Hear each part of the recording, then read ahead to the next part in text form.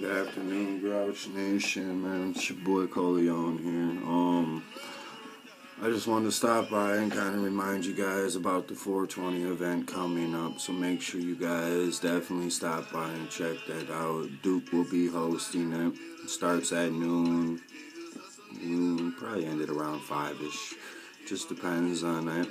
But um, definitely got a lot in store for you guys. But it's not why I'm here today.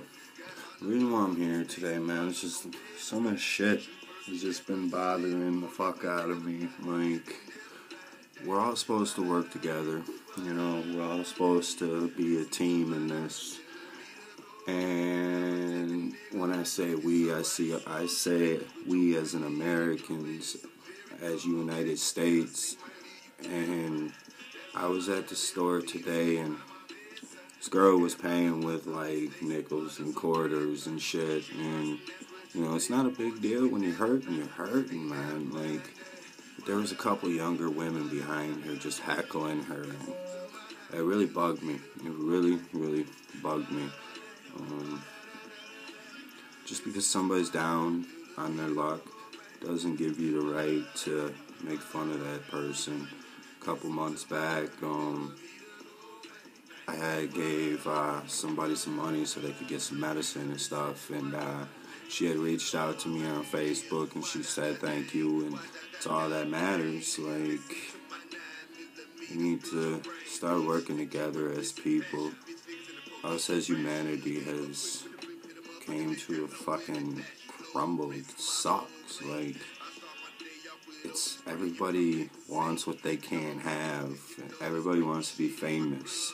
Everybody wants to be rich, but nobody ever wants to do the motherfucking work. Like, motivation is the key to success. You don't want to get your ass off that fucking couch and do something with yourself, man. You ain't gonna make it nowhere, plain and simple.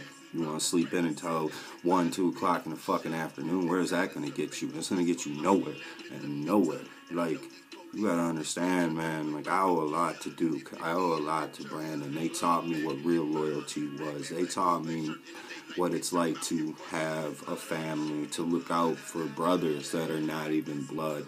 Man, these cats put money on my books when I was in prison. They wrote me, you know, they made sure I was good. They asked my family if I needed anything. See, now we need more of that in this world. We need more people that care. Like real talk, you know.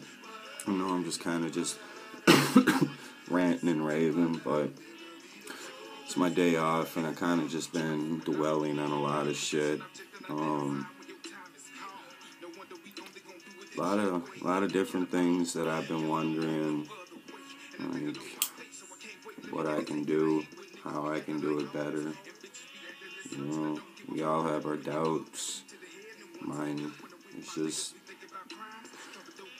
today is one of my doubtful days, pretty much. Kind of woke up questioning everything and kind of wondering, you know, what the purpose is for what I'm trying to accomplish in my life. Am I fulfilling my fatherhood needs, I guess, if you want to say? Am I being a good father?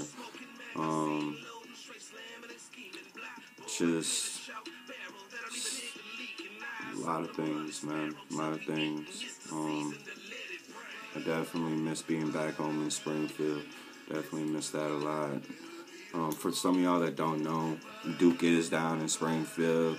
I'm up here in Wisconsin. Um, so it's it's different, man. It's weird being away from my brothers. Yes, you know I have my my beautiful daughter and my beautiful son up here. You know, so that that keeps me you know staying here. But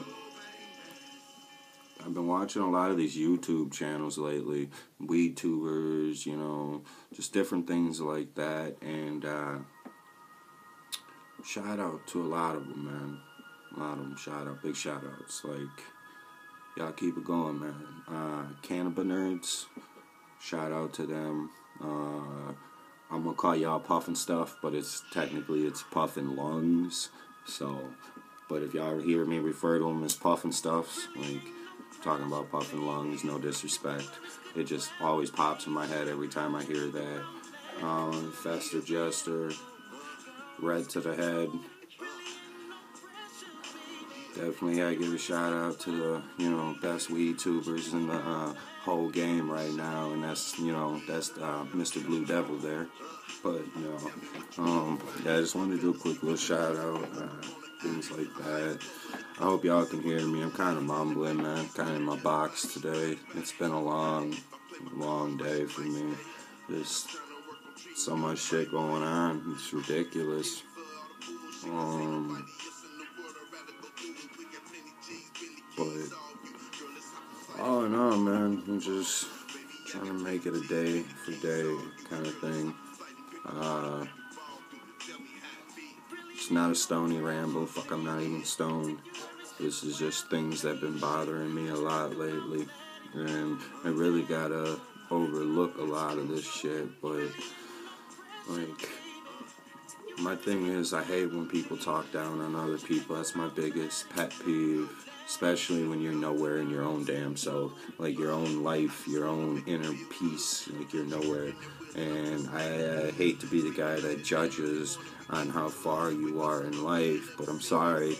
Well, if you're if you're not standing toe to toe with me, and I'm out here trying to bust my ass, make a dollar for the kids, like you're you're not equal to me. I don't look down on you. I'm just saying you're not equal as me. It just means I won't fuck with you. Plain and simple. It's not that, you know, because you're broke or anything like that. No, it has nothing to do with money. It doesn't have anything to do with if you got fucking weed or anything. It's all a mentality state. And if you're if you're not reaching out and you're not in the same mentality level as me, you're not wanting the same things in life as me, why would I want you in my life? And that even goes for female aspects. Like, why would you want to date a female that all she wants to do is smoke weed, get drunk, and party? Like, that ain't gonna get you nowhere. I mean, unless that's that's what you want. But I mean, a lot of y'all out here trying to get, you know, find love and all this and that. And like, if you're trying to find love, you need to Can't stupid. You need to start looking in the right places. You need to start looking at the people that are on your level. And if you keep finding people that are on your level, but you're looking down on them, maybe you're not on the right level your damn self, man. You need to step it up. Man, Grandpa taught me a lot in this world. One thing he taught me, man, is never be afraid to ask for help, because even Jesus asked for help.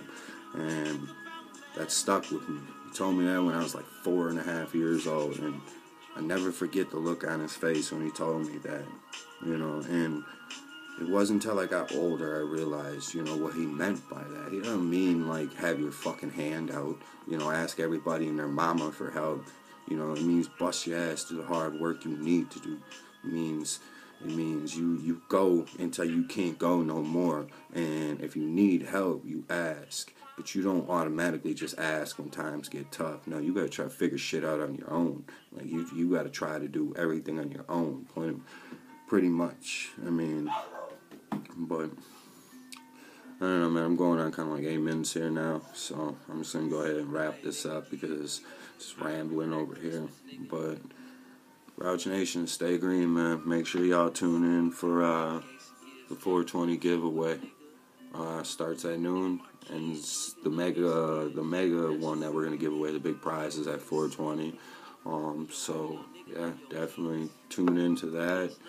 But in the meantime grouch nation greenery you gotta stay green man